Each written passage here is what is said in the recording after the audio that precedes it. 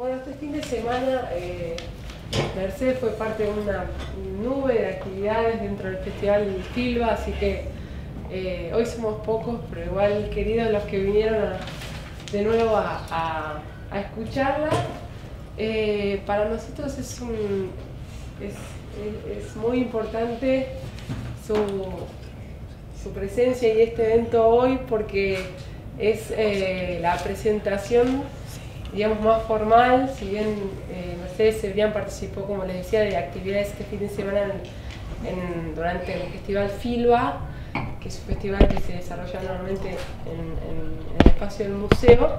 Eh, es importante porque es la presentación de Mercedes como segunda escritora residente de este programa que se llama REM, Residencia de Escritores de Malva, que nació el año pasado con una convocatoria eh, que lanzamos eh, un poco al, ciberespacio y recibimos 570 aplicaciones de escritores de todas partes del mundo, de Dinamarca, de Noruega, de España, de India, de Venezuela, de México, y con un jurado que conformamos eh, lo más internacional que, que podíamos, que fue con la escritora con el escritor John Coetze, eh, con Luis Chitarrón, editor argentino, con Luisa Valenzuela, que soy la directora del, Club PEN de Argentina, eh, y mm, Grande, que es editora en la editorial Ciruela en España, junto con Soledad Constantini, que es la directora del, Departamento de Literatura de acá de nuestro museo, eh, hicieron un gran trabajo de selección y este junio recibimos la primera escritora fue una poeta de origen de, Singapur, de ciudadana francesa que se llamaba Fiona Celorain, eh, que tal vez algunos recuerdan, eh, que hizo un bello trabajo acá en Buenos Aires, estuvo cinco semanas.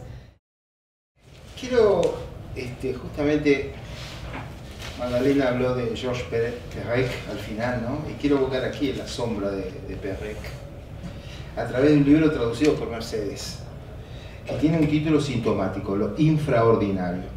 No se trata de lo que es extraordinario, lo que destaca en la vida cotidiana, lo que surge inaudito y se inscribe acaso en la historia. No es lo extraordinario, sino lo infraordinario. En la primera página de ese libro, en el texto Aproximaciones a qué, Perec señala que lo que nos habla es siempre el acontecimiento, lo insólito, los grandes titulares, los accidentes, el escándalo, la fisura, el cataclismo, los conflictos sociales. Pero en nuestra precipitación por medir lo histórico olvidamos lo esencial. Por ejemplo, lo intolerable, dice Perec, no es la huelga, sino las condiciones de trabajo el resto de los días del año. Y Perec dice que lo que pasa realmente, lo que vivimos, todo lo demás, ¿dónde está? ¿Cómo dar cuenta de lo que pasa cada día y de lo que vuelve a pasar, de lo banal, lo cotidiano, lo evidente, lo común, lo infraordinario, el ruido de fondo, lo habitual? Las cosas, los objetos, ¿no? Como William Carlos Williams, no hay ideas sino en las cosas. Como el título de un libro de Perec, Perec Las cosas. Las cosas, los objetos, pueblan hasta lo infinitesimal la literatura de Mercedes Cebrián. Y es a menudo también la ocasión del poema. No es una poeta objetivista, en realidad, aunque tuvo buen diálogo, veo, con Daniel Samuilovich, ¿no? y el objetivismo también de la Argentina, sino que sabe que en las cosas se encuentra a menudo la espacialidad del tiempo, que es acaso una de las obsesiones de todo relato, cómo narrar lo que acontece, ¿no? ¿Cuál es el vínculo entre memoria y relato? ¿Qué hay todavía en el texto de aquello que ya no existe? Y creo que estas son, son preguntas que se hacen en los textos de Mercedes. Por ejemplo, hay un relato, una novela, una novela corta, eh, de, las dos de su libro La nueva taxidermia de 2011, que se llama Qué inmortalecido, que es un verso de, Susana Tenon, ¿no? que en este sentido me impresionó mucho. El otro también, el otro texto también, pero este particularmente. Ese título es también una definición de la literatura. Leí que Mercedes decía que esa taxidermia es dar apariencia de vida a lo que ya la ha perdido, relacionarse con, lo muerto como si aún viviera. Y eso creo que también es una definición de, su literatura y de la literatura. Esa apariencia de vida, de lo que fue, reside en las cosas evocadas, en los objetos narrados. Y la narradora de, ese, de, esa novela corta, se propone reconstruir minuciosamente en otro espacio una noche de fiesta que ocurrió cinco años atrás. Pero no a través de las personas, sino imitando, remedando, reuniendo otra vez todas las cosas de aquel espacio, como en una instalación o en una performance. Todos los objetos reunidos como si crearan una red en la cual un sentido fugaz pudiera literalmente tener lugar otra vez. Y es muy minuciosa esa narración de esta, de esta búsqueda, es apasionante y minuciosa. Así las emociones se materializan en las cosas, pero estas cosas son materia narrada, literalmente materia narrada. Esa narradora obsesiva que llena el vacío del presente es un modelo de escritor también. Y esa escena es el relato del tiempo perdido, es una forma de, narrar el tiempo perdido. Como dice Mercedes, como escribe Mercedes, montar un, un armatoste que funcione como piso piloto del pasado. Hay en ese texto una especie de épica de la objetividad. Y en el 2016 escribió otro texto singular llamado Verano Azul, unas vacaciones en el corazón de la transición, que, ella debería explicar mejor porque acá tenemos una lejanía con esa experiencia, porque se trata de la evocación minuciosa de una serie infantil española, popularísima, por la cual Mercedes evoca el mundo de la infancia, la España de la transición, una radiografía, hay una radiografía social, generacional, hay un lugar, hay una historia, y todo surge allí, en la minucia infraordinaria y repetida de una serie de televisión. Por ejemplo, este, este, este último libro de, de, textos que son narraciones, crónicas, que se llama Burr, Apuntes Gastronómicos, y los objetos ahora son comidas, son comestibles. Los alimentos son entonces también presencias, ¿no? motivos, tiempo consumido y también está acompañada por dibujos de Mercedes, eh, que también son objetos, son desechos, son lo que hay en una heladera, un sándwich empaquetado, una cafetera Volturno, una taza. Sabemos entonces que lo que se ingiere en la materia comestible no solo es alimento, también se come lo imaginario, parece decir Mercedes. El cuerpo del lector es poseído por lo imaginario en el menú literario. El lector es una especie de comensal. Y la narradora es así una exploradora de la otredad. Vean ustedes lo que dice en ese sentido. Mi lado snob se muere por pasear por Madrid con mi correspondiente equipo de mate. Pero sé que la impostura se paga cara y que la poca espontaneidad con la que manejaría todos esos cacharros me etiquetaría inmediatamente como la mema que se hace el mate en la calle. Porque mis compatriotas ibéricos no emplearían la expresión cebarse el mate. Pero acaso, donde más aguda es esta relación con las cosas es en la poesía. el, objeto para el poema es la ocasión de un yo. Un yo que está muy desplazado, ¿no? porque hay una cierta impersonalidad ¿no? bienvenida en la poesía de, de Mercedes. Y el objeto también se vuelve mercancía, con un valor de uso, y por ello no es extraño que esos dos libros de poemas se llamen mercado común y malgastar. Por ejemplo, acá hay un poema que, donde eso es muy manifiesto, ¿no? se llama Mother Tongue, ¿no? una lengua, dice el, epígrafe de Adrian Rich, es un mapa de nuestros fracasos. Mi lengua latina, mi lengua también llamada idioma. Su equivalente facial lo desconozco, pero sé de sus métodos para decir, me pasas el vinagre. Acabo de decir, me pasas el vinagre obtengo lo que busco, la mera excusa para entablar conversación y a la vez el vinagre. El mismo paladar pronuncia mera excusa y pásame el vinagre. El mismo paladar diciendo lo que dice y su propia coartada. Lo hemos construido nosotros, la, la hemos construido nosotros, la lengua, y sin embargo nos sacará los nombres que ella decida darle a la palabra ojos. Y entre aguacate y palta, no sé elegir con cuál saben mejor las gambas. Aquí en este, en este poema, como muchos, está como resumido todo esto. La relación entre cosa y, nombre, el extrañamiento respecto de las cosas a través del nombre, esta especie de palpación de las cosas por, la lengua, la, traducción posible de los nombres. Eh, creo que en, el último libro, Malgastar, hay, un poema que me, me impacta mucho también, que es el dedicado a Helen Keller, ¿no? Helen Keller es como una especie de... Ese, ese poema sobre Helen Keller es una especie de poética para mí, una especie de metapoética. Fue tan popular porque es que había unas películas eh, que eran El lago de Anna Sullivan. Fue, fue, una película... Sí, yo no, yo no lo conocía, ah, no. sé si la, gente lo conoce. No, eh, es contar un poco, contar sí, un poco. explico Helen Keller. Sí. Eh, yo es por una película de infancia que ponían en televisión mucho y es El milagro de Anna Sullivan. Anna Sullivan era una eh, pedagoga que era sorda, pero bueno, era pedagoga, sorda, pedagoga. Y eh, le dijeron eh, que, que, a ver si podía hacer como el reto de, de, enseñar a, pues a vivir casi, a leer, a, lo que pudiera ser a una niña sordociega, es decir, sordomuda y ciega, que era Helen Keller.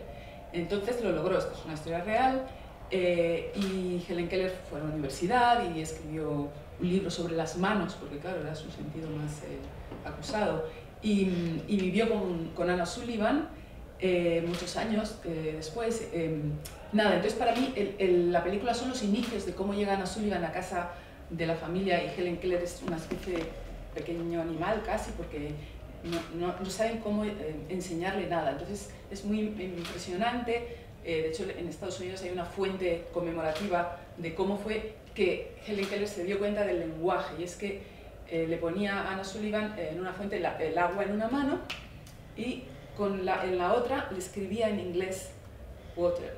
Y ahí se dio cuenta, se dio cuenta, y luego ya empezó con muñeca, no sé qué.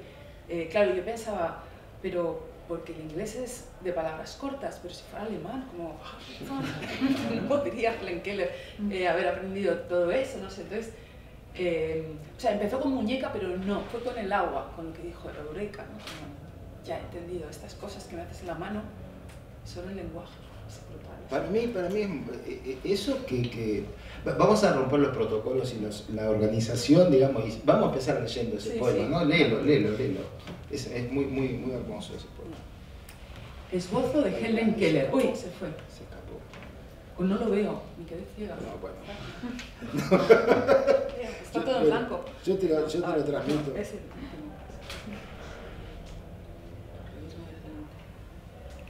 Ahí está. No se puede tocar esa pantalla. Esbozo de Helen Keller. Helen Keller, sordociega. Sus privilegios son palpar la victoria alada de Samotracia en el Louvre, tocar a la jirafa en el zoo y subirse a lomos de un dromedario en el circo. Excepto un tigre vivo, aunque sí disecado, Helen Keller lo ha tocado todo. Sus padres la llevaron a la Casa Blanca, color que para ella no significó nada. La suerte del inglés con sus palabras cortas benefició a la pequeña Keller. Todo empezó con la palabra water. En 1887 tuvo lugar la famosa escena de la comprensión del concepto de agua junto a una fuente.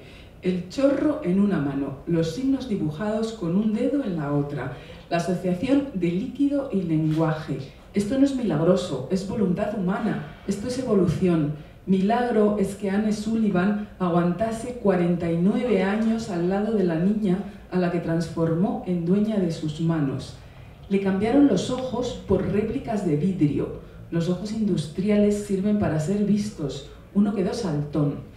Si queremos contarle algo a Helen Keller, dejemos que nos ponga los dedos en los labios. A veces levemente los roza con la lengua sin querer. Muy bien.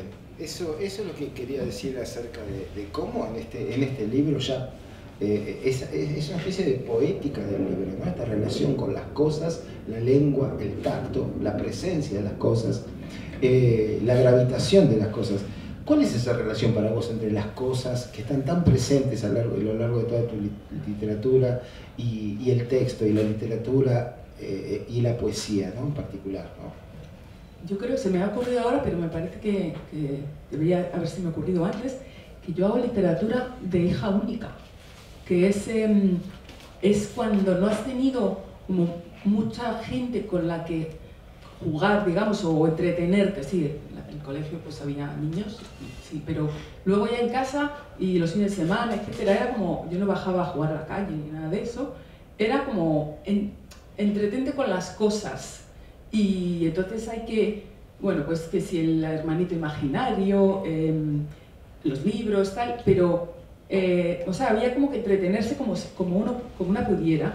Y yo siempre he tenido una especie de, no fantasía agradable, sino fantasía de horror, como, eh, como fantasma, de algo que podría pasar. Y es verme, eh, o sea, pensaba, para ser práctica, si me veo en una cárcel, el tipo de cárcel un poco de, más del humor gráfico, que son unos barrotes y un catre y una jarra de agua y, pan duro. No sé si ahora las cárceles son así, creo que no. Eh, y digo, si no hay nada más que eso, ¿cómo me entretendría? ¿Cómo seguiría viva? No entretendría de diversión, pero bueno, seguir activa, sino que hago, bueno. Y pienso, bueno, mi cabeza, mi cabeza lograría, no sé, mirar algo. Em, eh, yo qué sé, yo, eh, es un poco de obsesivo, ¿no? Mirar, por ejemplo, baldosas, no, no habría en la cárcel esas baldosas, pero mirar los dibujos de las baldosas, eh, los dibujos que forman. Eso yo de pequeña recuerdo hacer mucho ese tipo de, de cosas como de, del puro aburrimiento. Creo que ya de adultos el aburrimiento ya se, se, ha quitado de mi vocabulario porque no me da tiempo a estar aburrida nunca. Siempre hay una lista de cosas que no he hecho, incluso de lecturas. Ya para empezar, de, no leía tal clásico que tengo que leer. Pero de niña sí había aburrimiento y ahí es donde yo creo que, que me hice como una, un vínculo fuerte con, con las cosas ¿Y cómo, cómo, ha sido ese pasaje a través de la infancia con, esa, con esas cosas que son contadas, narradas, espiadas, ¿no? Y, y, qué relación hubo con la lectura también? Si hubo lectura antes, ¿no? Yo diría que no ha habido, no ha habido madurez, o sea, me en la etapa anterior. No, estoy pensando todo el tiempo, cuando hablas ahora, en esta gente que normalmente está en Japón, que tienen eh, relaciones muy estrechas con muñecas, ¿no? Con, bueno, hay toda una tendencia a gente más como que colecciona muñecos y hacen escenas con ellos. Un poco Felisberto Hernández tiene las hortensias, que yo cuando leí eso, porque me gusta mucho escribir sobre muñecos. Ya tengo un, eh, creo que lo has leído, de, de la nueva taxidermia, un, un relato sobre alguien que se hace muñecos de ventríloco, y pienso, no vuelvas a escribir esto porque, porque ya, hay, ya ha habido muñecos, ¿no? Otra vez muñecos ya, es como si ya, ya he agotado a los muñecos, pero para mí los muñecos tienen hay mucho que decir. No sé si ellos tienen mucho que decir o, o nosotros sobre ellos. Eh, entonces, bueno, Las Hortensias fue eh, un relato, eh, una novela que me interesó mucho porque habla con los maniquís les pone a hacer escenas, enfada, hoy está muy antipática, no sé qué. Y esta gente que, de tanto, tanto que se habla de ellos de, en Japón, Corea, que, que, tienen, que encargan muñecas de tamaño natural, con textura muy humana, y, y bueno, en concreto estuve siguiendo la, el relato de un viajante de comercio, que es real, que, eh, él viaja con la muñeca y dice, es muy cariñosa, dice, además no está pendiente de mi dinero, ni es interesada. y claro, entonces se supone que tenemos mucha pena de esas personas, de pobres, ellos, eh, no, no, no, sé, algo les ha ido mal en el afecto y se encierran en eso, pero para mí son valientes, es como, no lo veo tan, tan alocado, o sea, lo entiendo muy bien y eh, entiendo que eso es la relación que los niños tienen con sus muñecos, que nadie les dice, pobre, no tiene amigos, no, es como lo, natural, eh, que hablen con los muñecos y tal. Entonces pienso, ¿por qué no mm, pasar eh, ciertas cosas de la infancia directas a la vida adulta y, y, bueno, y fingir que uno es adulto normal para encontrar trabajo y demás, pero luego tener sus cosas. y para mí en la literatura es donde puedo hacer eso donde no hay que fingir la cosa de ser adulta y tal. Ahí ya... Esa cuestión de juego también. Sí, sí, sí. Y eh, había, yo te preguntaba, digamos, ese, ese pasaje de, en la infancia, ¿qué relación hubo con la literatura en ese periodo, digamos? Eh, bueno, eh, había mucho cómic, yo leía mucho cómic, sobre todo cómic español, como de Mortadelo y Filemón, cosas así. toda una, la editorial Bruguera de allí tenía en los años, creo que empezó en los 60, yo no había nacido, pero ya había esos cómics, como toda una escuela de cómic español y siempre esa editorial Bruguera, que por cierto creo que luego eh, los esclavizaban a los dibujantes y así. Entonces eh, había muchos y muchas revistas de, de, eso que yo compraba, entonces era más una especie de cómic así como popular que, que me influía, eh, no, no, sé, me, leía mucho, este, recuerdo a mi padre decirme, como preocupado de solo les tebeos. No, tebeos son los cómics, no, no, lees eh, libros, y, pero bueno, también leía libros. Eh, eh, bueno, eso y luego mucha literatura que venía de Inglaterra, estas eh, Enid Blyton, que llegaba a España, y Richmond Thornton, la de Guillermo, William Brown, eso era lo que más leíamos, eh, sorprendentemente, o sea, como que había como mucha colección, así como que gustaba esa idea de si te gustaba un personaje o un grupito, eh, te podías comprar como la colección, eso era muy emocionante, ¿no? La saga. Em, entonces esas eran, mis lecturas muy, no muy intelectuales de niña, no, eh, no, mis padres no eran intelectuales, no me daban a leer los mitos griegos para niños ni nada de eso. Entonces, em, o sea, era un poco una formación un poco antiintelectual. Lo que sí es que yo estudiaba música y creo que eso es lo que me ha, me ha salvado de ser una antiintelectual, me parece, que podría haber caído en, en algo demasiado... No, no, sé, creo que esa cosa como abstracta de la música, de aprender teoría, armonía, contrapunto, eso te, te, te pone en la cabeza muy como de estructural, de estructuras, de, que creo que por algún lado también ha, ha influido. Eh, me, me, recuerda ese libro extraordinario y tan, tan curioso, ¿no? porque es una exploración minuciosa de, de esa serie Verano Azul. ¿no? Contanos un poco que, de qué se trata eso, qué es Verano Azul, qué, ¿Qué, ¿Qué, te pasaba al verlo y cómo fue ese regreso? ¿no? Mm. Una especie de retorno al pasado. O sea, es, eh, empezó en el 81, es que la pasaron 14 veces en España, por eso la gente cree que eran temporadas, ahora como que no se acuerdan, dice, ah, era otra temporada, no, no era temporada, es lo mismo repetido. Eh, y eh, fue como el gran éxito de... Y digamos que a bueno, una generación media pues le, le influyó. Entonces, eh, está como que es algo que caló tanto que yo pensaba, ¿cómo nadie ha escrito sobre esto? Y yo, esto era para un trabajo académico en Inglaterra, que paradójicamente hice un máster de estudios hispánicos en Inglaterra, pero entonces busqué si académicamente habían escrito y nada, una, una o dos páginas, eh, eh, pero pensé, esto es muy importante esta serie. Y sé que, eh, por ejemplo, un amigo de, escritor de, de, Montevideo me dijo que para él fue esencial Verano Azul, los, no sé qué día la ponían ahí, los sábados, los domingos, y pensaba, ay, mis padres han discutido, no quiero que disputan y que haya problemas porque hoy ponen Verano Azul, o sea, realmente es importante. En Bulgaria hay una calle eh, de Verano Azul, en la ex Yugoslavia también sé que, o sea, en Yugoslavia del momento, eh, y creo en Venezuela, más, lugares, Portugal también. Entonces, eh, no sé cómo eh, caló tanto en otros países porque era muy, muy español y el análisis que yo hago es de que era el símbolo de lo que querían que fuese la España de la democracia. o sea, era una serie pedagógica, pero para todos. Como en plan, así hay que ser. padres e hijos, porque hablaba de relaciones de padres e hijos, como hay que hablar, dialogar, tal. Eh, eh, la ley de divorcio no estaba aún en vigor, pero ya se hablaba de que iba a haber ley de divorcio, entonces salía un matrimonio que se separaba y, y había unos personajes adultos conciliadores que siempre tenían el, mensaje preparado conciliador, que era, em, bueno, este, eh, es mejor si una pareja no se lleva bien, que se separen, no es nada vergonzoso, tal. Siempre había como un discurso así de fondo, porque la serie la veían las familias juntas los domingos después de comer.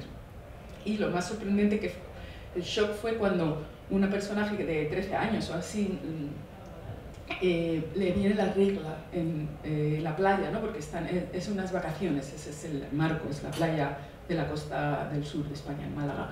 Y entonces sus hermanos pequeños, el hermano pequeño, ¿pero qué le pasa? Tal.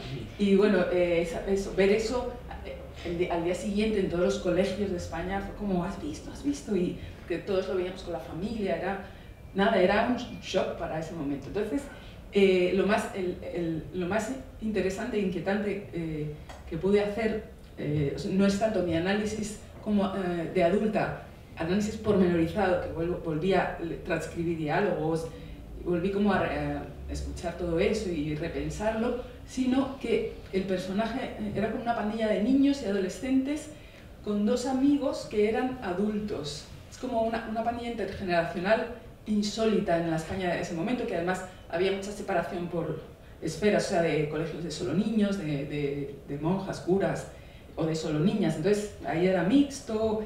Luego en España ya hay una tradición fuerte, creo, de cine con niño, donde los niños por ejemplo, Carlos Saura tiene muchas películas de, eh, con Ana Torrent y hay muchas más de...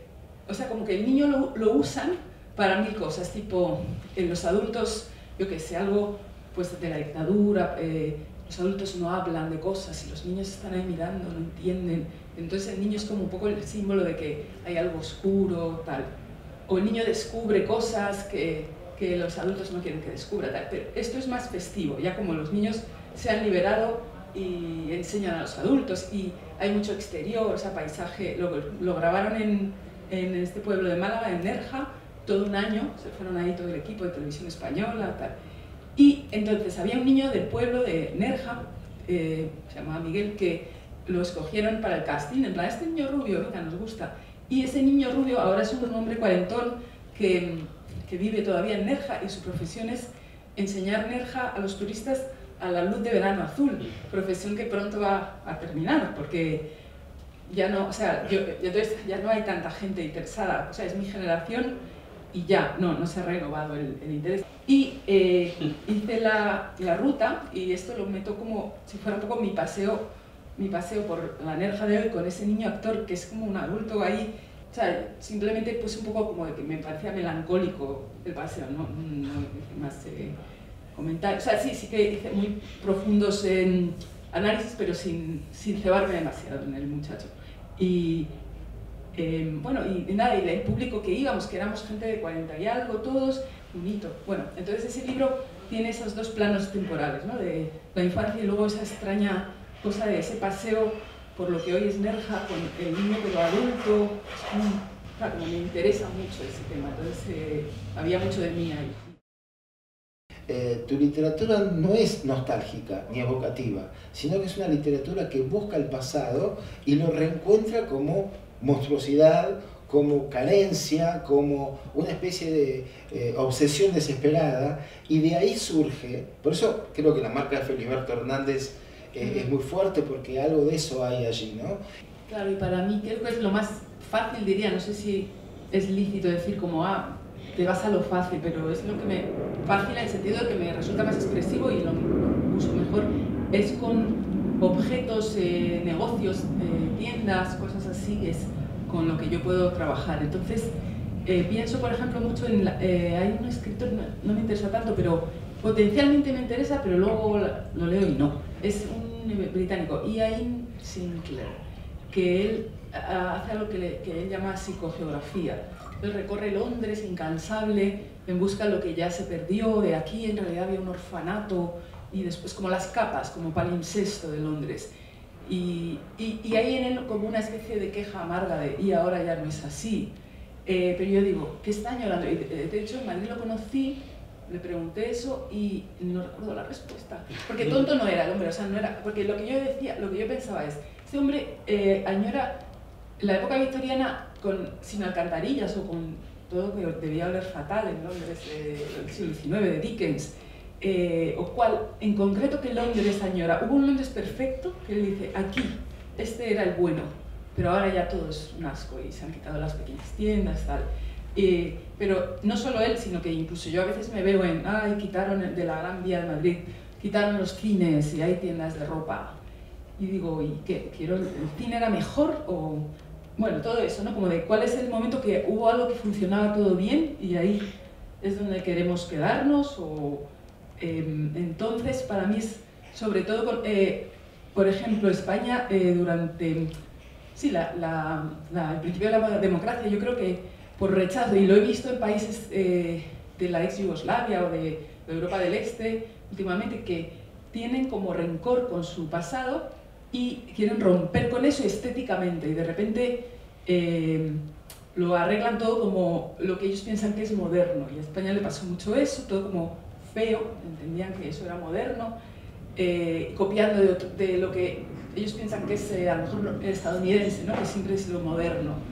Y, y, luego ya, cuando madura esa sociedad, dice, ay, qué feo es todo esto, si hubiéramos mantenido esos cafés tan bonitos de antes, pero es como que se han dado cuenta cuando ya están las, cicatrizado ¿no? el, el deseo de ruptura.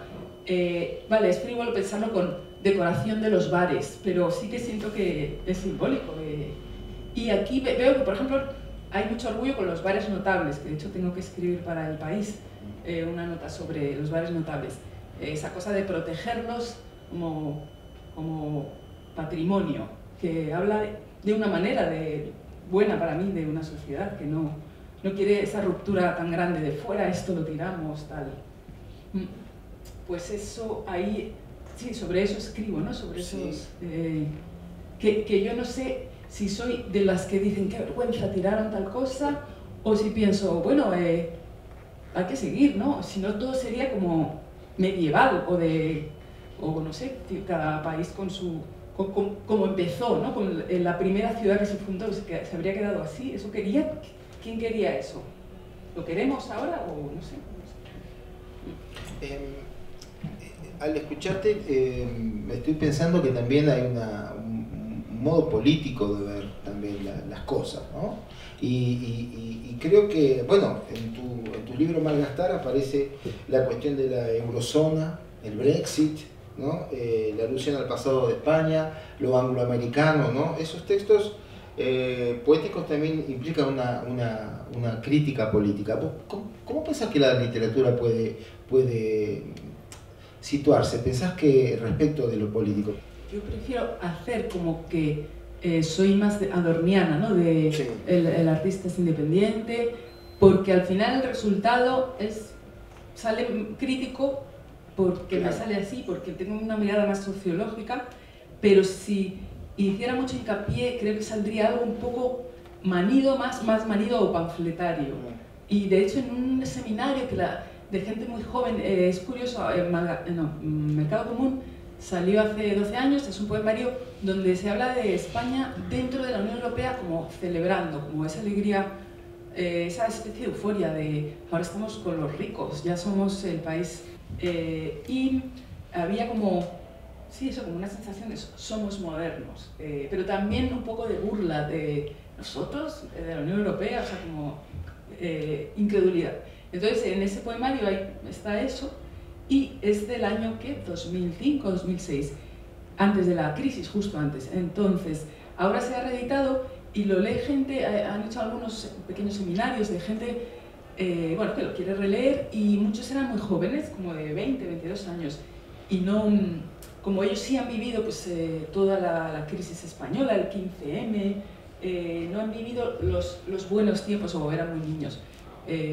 entonces están un poco alejados, como que no ven suficiente crítica, no, algo no les convence. Y entonces recuerdo una muy joven que me dio como una lección y me dijo, a mí es que esa poesía no, no la veo muy crítica ni muy social. Entonces me leí un poema de su padrino poético, que no recuerdo quién es, eh, al que admira mucho, y entonces lo que ella, para lo que, lo que ella opinaba que era un poema social de verdad y político, que los míos no lo eran. Entonces, en el poema era sobre el propio poeta diciendo, ay, mis padres incultos y trabajadores, obreros, no, no entienden mi poesía, han ganado un premio, pero ellos no son ajenos a esto, tal y mis padres con, mi padre con artrosis en las manos, tiene, las tiene ahí los nudillos mal, y pensé, de trabajo y tal. Entonces yo pensé, no, pero bueno, no, no quise pelearme, digamos, pero pensé, es que es, me parece un poco fanfletario pensar que la artrosis es de trabajar, porque, o sea, no me voy a penar más por el padre obrero porque tenga artrosis en las manos, porque no, no es una enfermedad,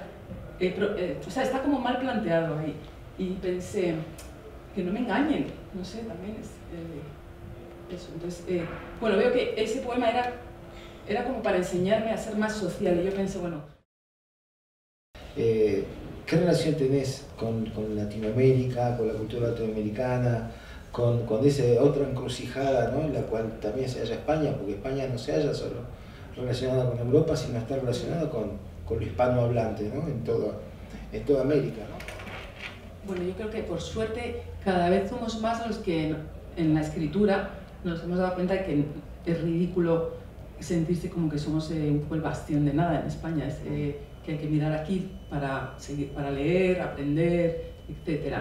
Y entonces en eso soy como de, de los, que, los felices que, que, sabemos que es así y que disfrutamos que sea así. O sea, que cuando llega algún escritor latinoamericano a Madrid eh, pues estamos encantados, vamos a las presentaciones, incluso presentamos los libros si podemos.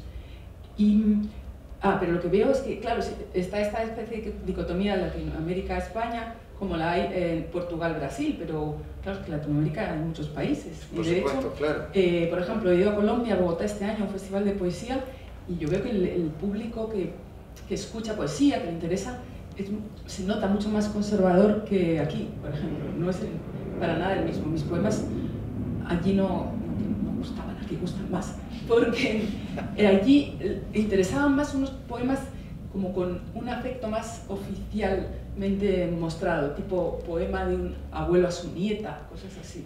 Había un público más conservador, más lírico, así.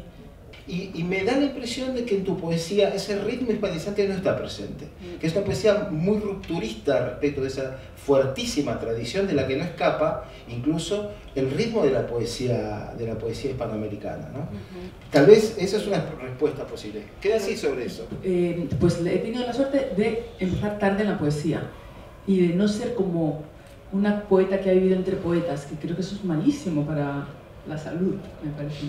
Eh, o sea, yo venía de la prosa y, y sigo, eh, hasta ahora, ayer era, me sentía como de, no, no, yo soy una prosista que alguna vez escribo poemas, pero ahora empiezo a decir, no, no, ya no. Y es, fue por la residencia de estudiantes, que es una institución cultural que está en Madrid, es donde vivió Lorca, donde vivieron Lorca, la Dalí, misma, la misma esa. Sí, sí, sí, antes de la guerra y se retomó en los 90 o los 80 como otra vez con ese espíritu, es decir, se hacen muchas lecturas de poesía, eh, también de cosas de ciencia, o sea, no solo quieren estar en, las letras, sino como que sea una cosa multidisciplinar. Y hay becas para eh, jóvenes creadores, eh, estudiantes de ciencia, o sea, como doctorandos, tal. Y yo tuve una de dos años, viví allí, y pasaban poetas, eh, porque también es como es un hotel también, de repente Gonzalo Rojas venía una semana y allí estaba desayunando y te acercabas, hasta Chabela Vargas estuvo también. Y mm, entonces muchas lecturas, eh, tienen una figura que es el poeta en residencia, eso que se está allí un tiempo y da pues a lo mejor un taller. Eh, García Vega, Lorenzo García Vega, que me gustó mucho de, de Cuba, que ya murió, también estuvo. Entonces, eh, eh, pasó también Daniel Samoilovich por allí. Y, y, lo bueno es que mis compañeros, eso fue una suerte, o sea, es como estar en el sitio correcto en el momento justo. Eh, era, había dos poetas en formación, que eran mis compañeros de beca, y otro que trabajaba ahí, que es peruano, que había sido becario. Entonces, con él montamos una pequeña tertulia de poesía eh, y principalmente lo que se leía era lo que proporcionaba este chico de Perú, que tenía muy buen gusto y lo tiene, Martín Rodríguez Gaona es. Entonces, leíamos César Moro, cosas que yo no había leído nunca. También estadounidense Marianne Moore. Y mis compañeros sí están como más avanzados que yo, pero yo ahí en, en ese momento fue el primer, mi primer contacto con, con César Moro, con mucha poesía de Latinoamérica. Creo que la traducción es una parte muy importante de tu, de tu obra para mí. Este, bueno, te quería preguntar sobre esa relación fascinante con, con la literatura de Perec, ¿no? que, bueno, que, que, que, aparezca en español con cuatro libros traducidos parece ya una, un, una posición, ¿no? toda una posición. ¿no? Eh, y también quería preguntarte acerca, por un lado, de la traducción en sí como tarea este, literaria, tu relación con Perec, y también lo que significa traducir al español al español, ¿no? Es decir, ¿no? la traducción de, de ¿no? porque en un momento decís, este, bueno, él era como un boniato dulce y ella era como una patata seca, ambos tubérculos, ¿no? Este, bueno, ¿y eso qué es? Eso ¿no? soy yo, la que sí, digo, como, sí, eh, sí. No, no es una traducción. No, no, eso lo decís vos, eso lo decís vos. Entonces, ¿qué es eso, no? El boniato, que como se lo llaman Rosario, por otra parte, ¿no? Este, ¿qué, qué, qué son esas, no? Como la palta y el aguacate, ¿qué son esas palabras de otra lengua que están dentro del español para, para las regiones, ¿no? Es que soy un poco adicta a aprender lenguas, un poquito de cada, de lo que pueda. O sea, luego no, no lo llevo a buen puerto nunca, salvo inglés, francés, pero he ido a clase de japonés una temporada, que los chicos que hacían manga eran súper buenos y yo, yo iba mucho más atrasada. He ido a iris, voy a hebreo, cada vez que puedo. Eh, alemán también he hecho, pero bueno, nada de esto, mm, nada de esto sirve para algo concreto de darme, de darme, ganarme el pan, salvo inglés francés, pero, pero sí para mantener mi cabeza, no sé, en su enloquecimiento clásico. Eh, o sea, si en los momentos de más ansiedad lo pongo, incluso hago- empiezo los cursos de sueco y, y griego moderno, que, que luego abandono a las dos lecciones, pero es como calmante la ansiedad, el aprendizaje de unos rudimentos de otra lengua, otro alfabeto, todo eso es eh, como me serena, eh, porque de verdad te, metes como en, en algo que, que, te tiene la cabeza ocupada y no puedes eh, darle muchas más vueltas a nada, es como, como un, juego, ¿no? el juego de aprender un idioma. Y también di clase de español no, mucho tiempo, un semestre en una universidad americana, y ahí yo quería ayudar a los estudiantes porque nos decían a los profesores españoles, ojo con, con ser muy, eh, llevar para España, que aquí no interesa eso, o sea, la gente va a estar más en contacto con un español de México, de cualquier sitio cercano, no con el de España. Eh, en el examen podían no usar el vosotros eh, ni aprenderlo, o sea, no tenían que aprender la segunda persona con el vosotros, si querían, pues la usaban y, y así. entonces, yo les hacía unos líos a los pobres porque les decía, bueno, esto y en la, la, traducción en realidad la he hecho sobre todo para, pues como alimenticio. Y mm, la verdad es que te, voy a decepcionar ahí porque no, mm, solo con Perec que sí que me sentí vinculada como que pensaba hay que traducir ciertas cosas que no estaban o que estaban descatalogadas, eh, pero em, algunas cosas, por ejemplo, Alan Silito fue un esfuerzo muy muy grande y está muy bien pagado y de verdad a veces me preguntaba, eh, o sea, porque veo que hay gente más vocacional, de, sobre todo el traductor de poesía, es alguien que es una vocación, pero como religiosa casi. Eh, yo no la tengo tanto, o sea, eh, siento que es un esfuerzo tan, tan, o sea, minucioso, es como bordar, que ahora empezó a bordar y realmente se cansa la vista, es, es dibujar con hilos, es, es un trabajo que valora a estas señoras que hacían mantelerías enteras, tal, porque es eso, es como que uno no valora la agujita que sale, que vuelve a entrar, tal, pero y al final sí ves el bonito mantel, pero igual le, tiras vino en cualquier caso. Pues igual, ¿no? Un poema traducido es como lo que han trabajado, pensado, sí, sí, sí, no, tal. Y, entonces, eh, no, o sea, no quiero ser una traductora muy, muy entusiasta con la traducción, porque creo que te absorbe y te puede llevar como un mundo un poco pero no, no me decepciona, me parece que lo de Perec es, este, es muy característico, ¿no? ¿Qué te pasó con Perec?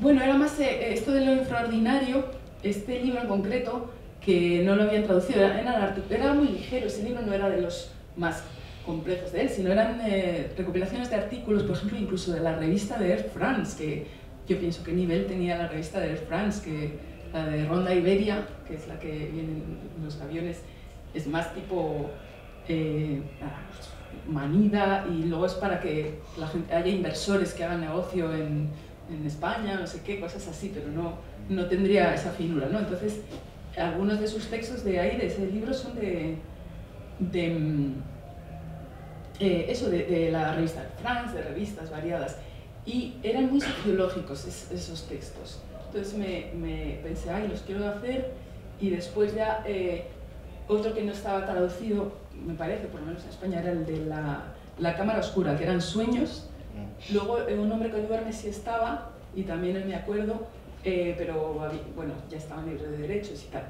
Pero mm, la verdad es que han sido épocas como muy laboriosas y yo ahora ya pienso que, que debo hacer la gran, escribir la gran novela, la gran novela española que a ver si la hago, pero no, no creo.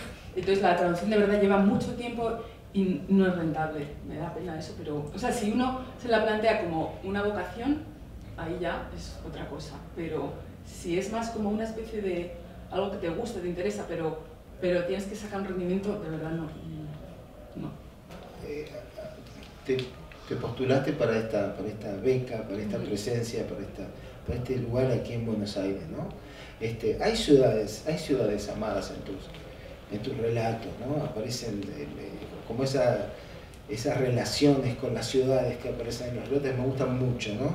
Este, sos una escritora de crónicas también, hay, hay un elemento viajero, no solo a través de las lenguas.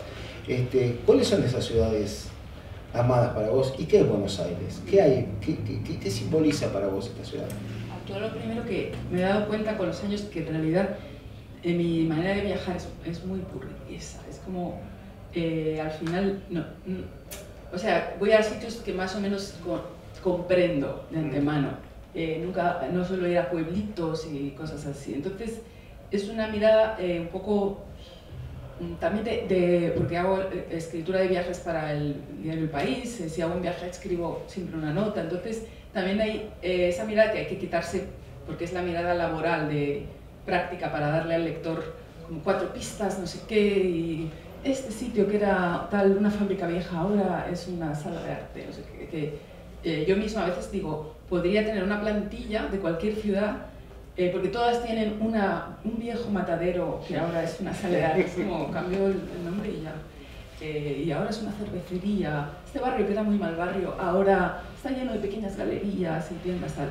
Eh, o sea, es muy triste que, que, se pueda hacer con una plantilla eso, porque cada vez se parecen más las ciudades, o sea, sus prácticas.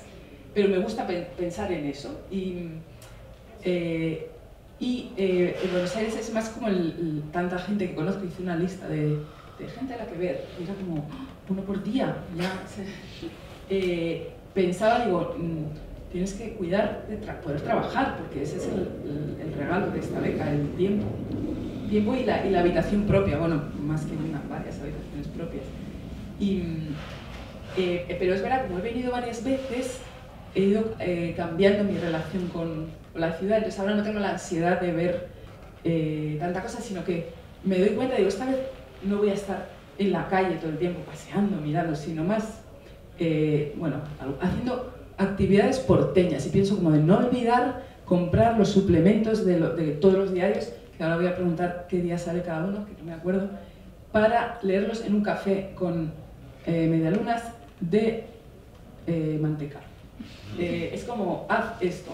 Es, como un plan porteño, como ese tipo de cosas más que en sí patear y ir a un sitio a otro y así. Luego me gusta mucho ver el paisaje comercial de las ciudades, que me, me apena mucho eh, las tiendas, o sea, el negocio a pie de calle, ¿no? Porque la industria es una cosa que puede ir bien, mal, o sea, que fabrica, no sé, lo que sea, desde libros a, a ropa, pero el, negocio a pie de calle de entrará hoy gente o no entrará nadie, o si entran, igual entran a robar.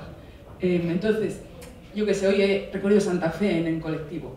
Es como cuántas tiendas de cosas, de todo. Y eh, de ropa. ¿Entrará gente que quieren ropa o no? La gente ya, ya, ya, tiene mucha ropa. ¿Van a entrar? ¿No van a entrar hoy? Bazares, eh, regalos, no sé, un montón de cosas. Eh, y, y, ver eso, como que en algún momento va a quebrar esa tienda o no, librerías pequeñas, cómo les va a ir.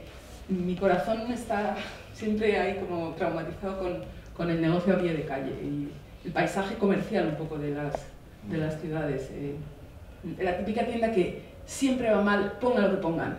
Como que hay un hueco ahí maldito, que ese local, no sé, hay que hacerle un conjuro algo, porque si no, todo va a cerrar lo que pongan ahí y así.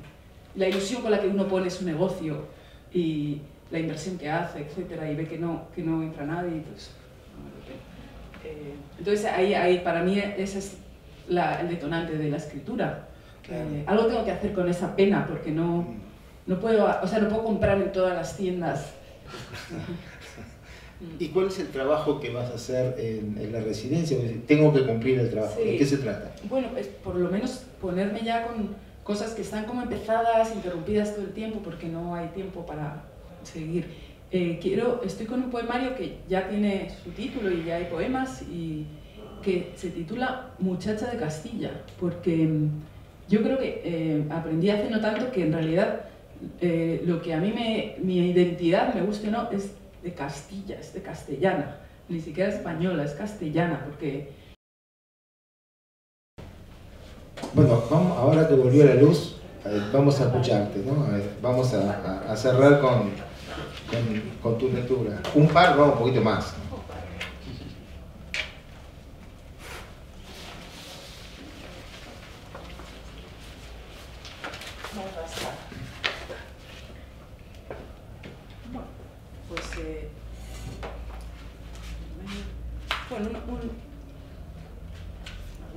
un, par de poemas relacionados un poco con, con, Estados Unidos, con una experiencia estadounidense, que es de una sección que se titula Angloamérica.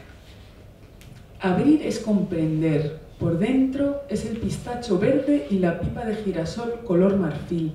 En el cine de verano, el chasquido de abrirla con los dientes era nuestro concepto de trabajo de campo. La idea de futuro la aprendí en la época que llamamos infancia, pero en versión doblada al castellano. Americanos, si os abro la cabeza, seguiréis siendo tan afables conmigo. Yo soy la que os corrige los pronombres de 9 a 10 y cuarto. Sin embargo, el idioma no lo fabrico yo. El idioma no es semen, esa palabra incómoda. Lo copio de otras fuentes. Me da el sol del idioma y me recargo como la batería de una calculadora. Americanos, no me necesitáis. Me voy caminando hacia atrás. Haré tan poco ruido que no lo advertiréis.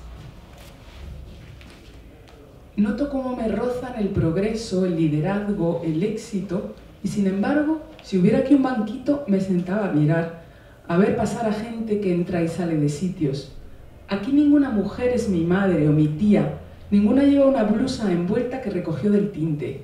Todas tienen mucho que hacer después, incluida yo misma, y aún así pido disculpas por mi poca productividad. No solamente no dejo propina en el café al que voy, sino que robo las monedas del tarro de cristal que está junto a la caja. Con disimulo dejo caer al fondo dos botones de nácar. Escuchan el sonido y dicen thank you. Después, cuando los ven, esperan que algún día aquello se convierta en divisa de curso legal. Termino con... No, un poco más. No termino, vale. Dos, dos más. Dos más. Eh, a ver, tenemos este, el marido. Marido, ¿dónde está el marido?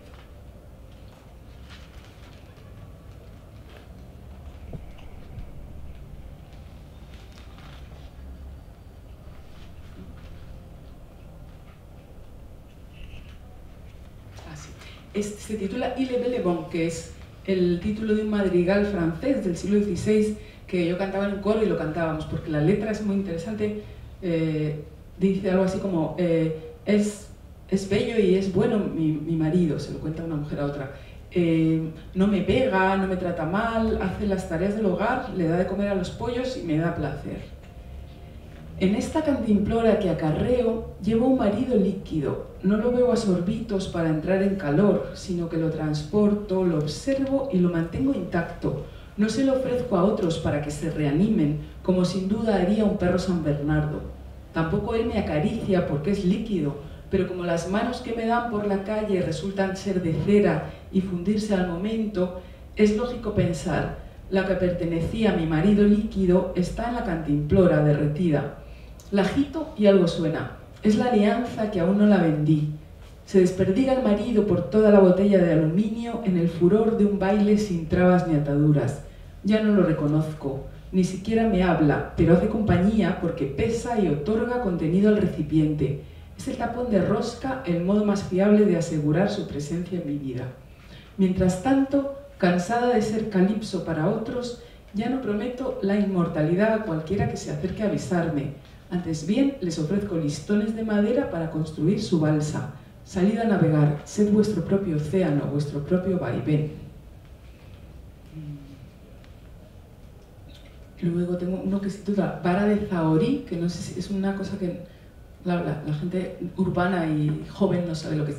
El eh, Zahorí es el que busca aguas subterráneas y tienen una, como una horquilla, ¿no? Que creo, yo nunca he visto un Zahorí, es una figura un poco legendaria para mí, pero como alguien con superpoderes. ¿no? O el personaje del sur de, de Víctor Erice, ¿no? que, que, Ah, que busca. Ah, pues ese ¿no? con- sería con- justo con una vara.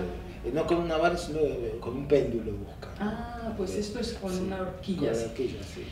Aunque quisiera, yo no podría localizar a cierta gente ahora, no por la diferencia de clase o de uso horario, ni porque surjan fallos en los sistemas de comunicación, sino por todo aquello que apenas alcanzamos a ver, los gasoductos, el sistema linfático, las monjas de clausura. Los discípulos de Maús, en cambio, se toparon con Jesús resucitado y lo reconocieron cuando partía el pan.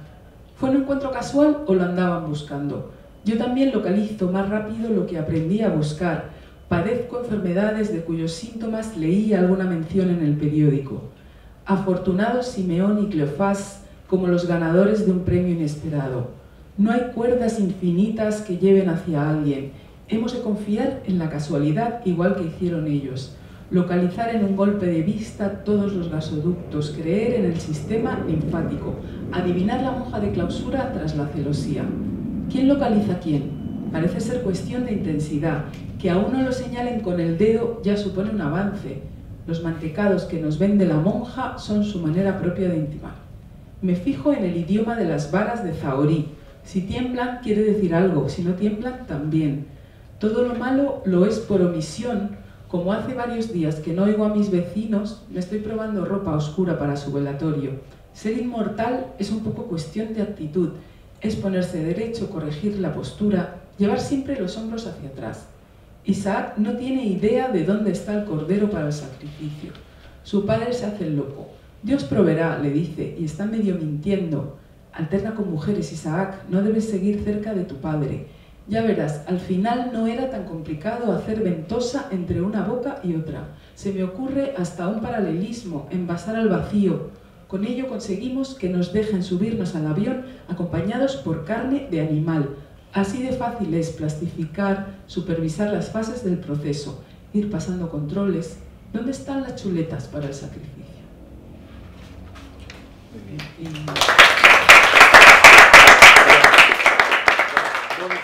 quiero que lea ah. un poema de, de, Mercado Común, ¿no? que acá lo tengo, por lo menos este.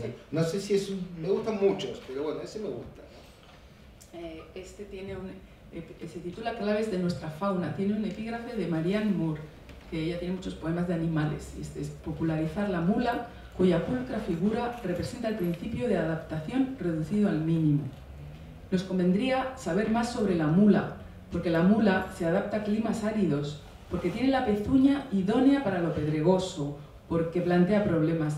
¿Se dice mula o mulo? Es un nombre epiceno, hija de asno y de huella, uy, de qué lapsus tan bonito, hija de asno y de yegua. Decir mula es como decir ángel, la boca se nos llena de la misma esterilidad, del mismo desinterés por el género, aunque los mulos hembra, con esfuerzo, paren potros pequeños. ¿Pensaron a la mula en un laboratorio o fueran las ganas, irrefrenables ganas de juntarse del burro y de la yegua? La clave es la textura del suelo, el braille caliente que soporta y desgasta y avejenta pezuña, y con esto me olvido de la España más verde. Estoy hablando entonces de la España que raspa. La mula no fue hecha para pisar mullidamente el césped de los parques.